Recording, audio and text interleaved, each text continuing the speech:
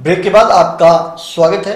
कांगड़ा ज़िले के धर्मशाला में सत्रह सरकारी स्कूलों में बेहतर शैक्षणिक सुविधा के साथ इस साल के अंत तक मॉडल स्कूल के रूप में विकसित करने के लिए आधारशिला प्रोजेक्ट का शुभारंभ हुआ है। इस बाबत आरईसी फाउंडेशन ने जिला प्रशासन के साथ एमओयू भी साइन किया है। इस प्रोजेक्ट के तहत आरईसी फाउंडेशन की ओर से तीन करोड़ आठ लाख की राशि व्यय की जाएगी। प्रोजेक्ट के तहत प्रत्येक शिक्षा खंड में एक एक प्राइमरी स्कूल चयनित किया जाएगा, जबकि प्रायोगिक तौर पर धर्मशाला में एक हाई स्कूल और एक सीनियर सेकेंडरी स्कूल को भी चयनित किया जाएगा।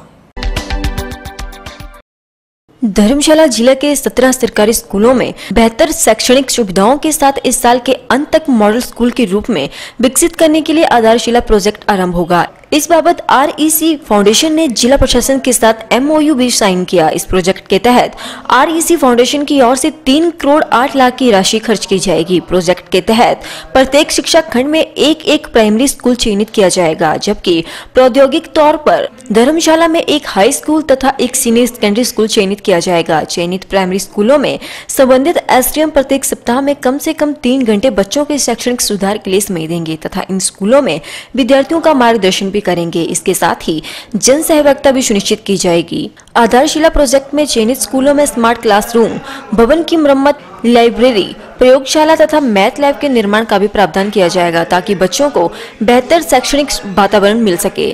डीसी कांगड़ा राकेश कुमार प्रजापति ने बताया कि जिला में शिक्षा की गुणवत्ता में सुधार हो सके। इसके लिए जिला प्रशासन ने एक प्रोजेक्ट आधारशिला स्वीकृत किया है। प्रोजेक्ट के तहत ब्लॉक स्तर पर एक एक प्राइमरी स्कूल को मॉडल बनाने का प्रयास किया जाएगा। ऐसे स्कूलों में ऐसा आधारभूत ढांचा विकसित किया जाएगा जिससे की आसपास के प्राइवेट स्कूलों के बच्चे भी सरकारी स्कूलों की ओर आकर्षित होंगे। इस तरह प्रौद्योगिक तौर पर एक एक हाई व सीनियर सेकेंडरी स्कूल भी मॉडल बनाया जाएगा। पायलट प्रोजेक्ट के तहत इस साल के अंत तक प्रयास रहेगा कि चयनित स्कूल मॉडल बने।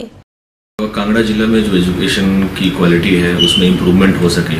उसको लेकर जिला प्रशासन ने एक प्रोजेक्ट कंसीव किया है, जिसका नाम है Aadharshila laying foundation for a better tomorrow कोशिश हमारी ये है कि ब्लॉक स्तर पे हमारे एक एक जो प्राइमरी स्कूल है, हर ब्लॉक में, उनको मॉडल बनाया जाए, उनका जो इंफ्रास्ट्रक्चर है, उस उस स्तर पर पहुँचाया जाए, ताकि जो आसपास प्राइवेट स्कूलों में बच्चे जा रहे हैं वो हमारे सरकारी स्कूलों में आके पढ़ाई करें।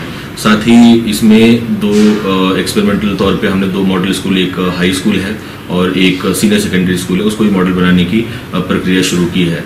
आ, हमारी कोशिश है कि इन ये जो स्कूल्स हैं इनमें जो मूलभूत जो ढांचा है हमारा इंफ्रास्ट्रक्चर है उसमें बढ़ोतरी हो। जैसे स्मार्ट क्लासेस हों अच्छे लैब्स हों अच्छा खेलने का मैदान हो बैठने का अच्छा ज़रिया हो और साथ ही साथ जो बच्चों के यूज़ के टॉयलेट्स हैं और और जो इंफ्रास्ट्रक्चर है, उसको, उसमें बढ़ोतरी की जाए।